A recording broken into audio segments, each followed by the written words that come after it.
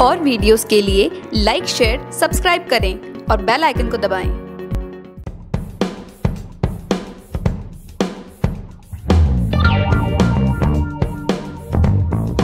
नमस्कार, आप देख रहे हैं राजस्थान संवाद और मैं हूँ आपके साथ चेतना।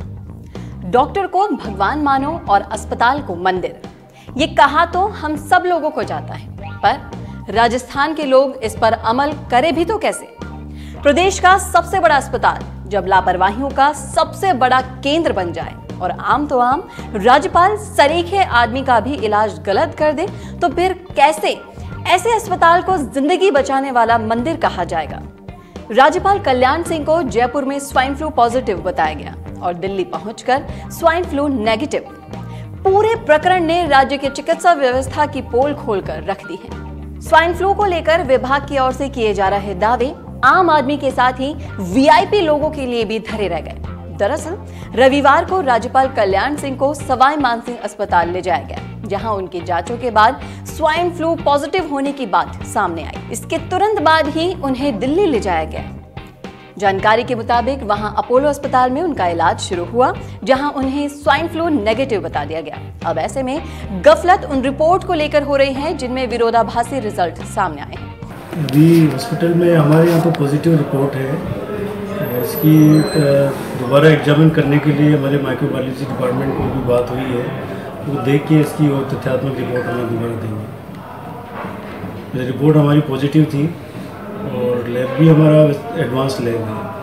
तो सर क्या माना जाए काम की अधिकता हो गई या क्या वजह है कि ये गलत रिपोर्ट आ गई? नहीं ये तो आप कैसे कह सकते हो ये गलत है। मतलब अपोलो की गलत है या तो? नहीं ये आप किसी को कुछ नहीं कह सकते तो मैं हमारी रिपोर्ट के बारे में कह सकता हूँ कि हमारी पॉजिटिव है।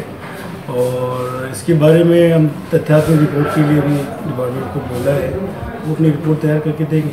मतलब हम ये कह रहे हैं सर कि हमारी रिपोर्ट सही है उसमें कोई गलती नहीं है।